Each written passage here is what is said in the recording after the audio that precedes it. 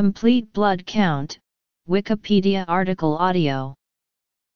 A complete blood count, also known as a complete blood cell count, full blood count, or full blood exam, is a blood panel requested by a doctor or other medical professional that gives information about the cells in a patient's blood, such as the cell count for each cell type and the concentrations of various proteins and minerals.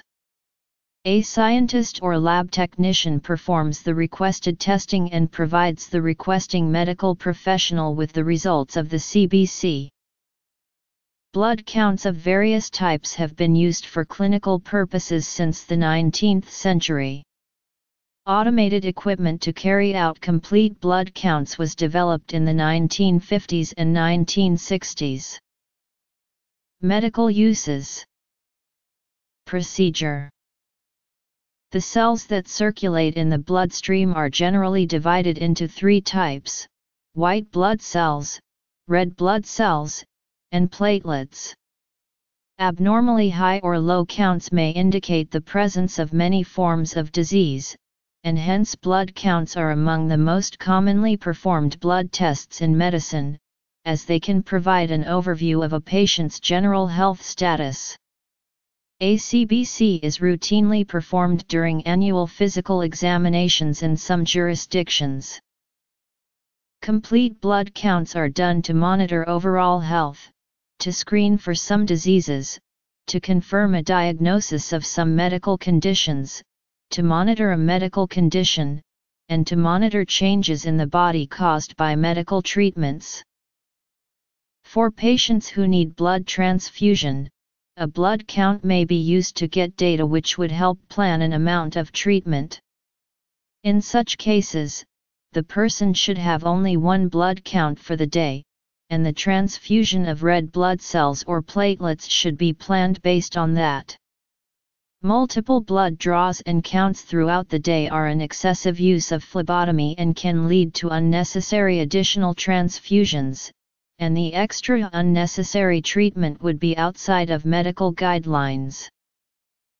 A phlebotomist collects the sample through venipuncture, drawing the blood into a test tube containing an anticoagulant to stop it from clotting. The sample is then transported to a laboratory. Sometimes the sample is drawn off a finger prick using a Pasteur pipette for immediate processing by an automated counter.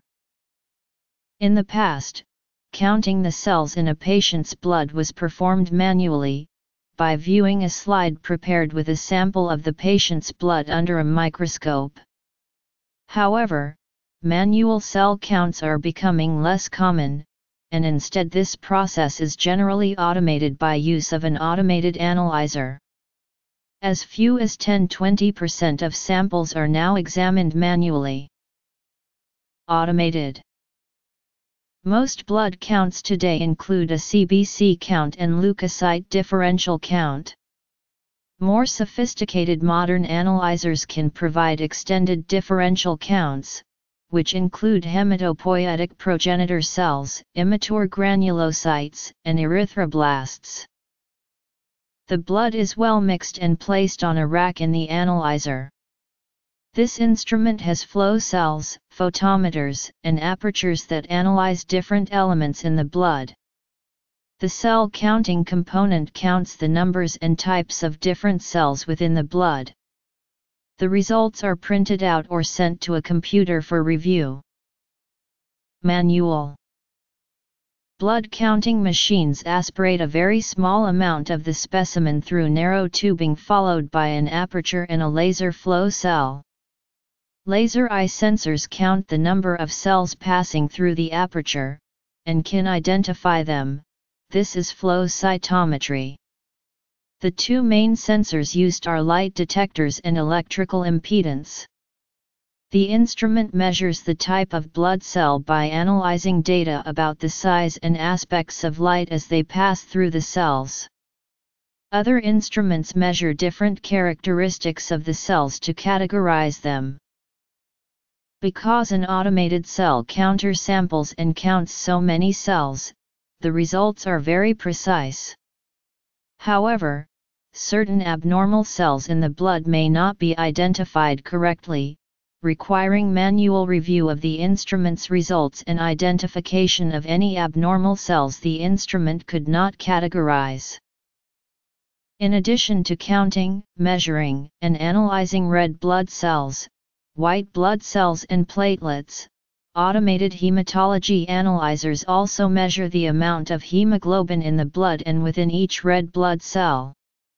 This is done by adding a diluent that lyses the cells which is then pumped into a spectrophotometric measuring cuvette. The change in color of the lysate equates to the hemoglobin content of the blood. This information can be very helpful to a physician who, for example, is trying to identify the cause of a patient's anemia. If the red cells are smaller or larger than normal, or if there is a lot of variation in the size of the red cells, this data can help guide the direction of further testing and expedite the diagnostic process so patients can get the treatment they need quickly. Included tests Hemocytometers are used to calculate the number of red and white cells per liter of blood. White cells To identify the numbers of different white cells, a blood film is made, and a large number of white blood cells are counted. This gives the percentage of cells that are of each type. By multiplying the percentage with the total number of white blood cells, the absolute number of each type of white cell can be obtained. Red cells Manual counting is useful in cases where automated analyzers cannot reliably count abnormal cells, such as those cells that are not present in normal patients and are only seen in peripheral blood with certain hematological conditions. Manual counting is subject to sampling error because so few cells are counted compared with automated analysis. A manual count will also give information about other cells that are not normally present in peripheral blood, but may be released in certain disease processes. Medical technologists examine blood film via a microscope for some CBCs, not only to find abnormal white cells but also because variation in the shape of red cells is an important diagnostic tool.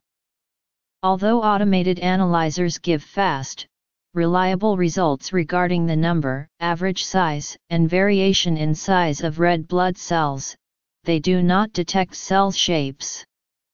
Also, some normal patients' platelets will clump in EDTA anticoagulated blood, which causes automatic analyses to give a falsely low platelet count. The person viewing the slide in these cases will see clumps of platelets and can estimate if there are low, normal, or high numbers of platelets. Hemoglobin A complete blood count will normally include Total white blood cells are reported, and a differential reports all the white cell types as a percentage and as an absolute number per unit volume. A high WBC may indicate an infection. Neutrophils may indicate bacterial infection. May also be raised in acute viral infections. Because of the segmented appearance of the nucleus, neutrophils are sometimes referred to as segs. The nucleus of less mature neutrophils is not segmented, but has a band or rod-like shape. Less mature neutrophils those that have recently been released from the bone marrow into the bloodstream are known as bands or stabs. Stab is a German term for rod. Lymphocytes, higher with some viral infections such as glandular fever. Raised in chronic lymphocytic leukemia can be decreased by HIV infection. In adults, lymphocytes are the second most common WBC type after neutrophils. In young children under age 8, lymphocytes are more common than neutrophils. Monocytes may be raised in bacterial infection, tuberculosis, malaria, Rocky Mountain spotted fever, monocytic leukemia, chronic ulcerative colitis and regional enteritis. Hematocrit Eosinophils, increased in parasitic infections, asthma, or allergic reaction. MCV Basophils, may be increased in bone marrow related conditions such as leukemia or lymphoma. Total red blood cells, the number of red cells is given as an absolute number per liter. Iron deficiency anemia shows up as a low RBC count. Hemoglobin, the amount of hemoglobin in the blood, expressed in grams per deciliter. A low level of hemoglobin is a sign of anemia.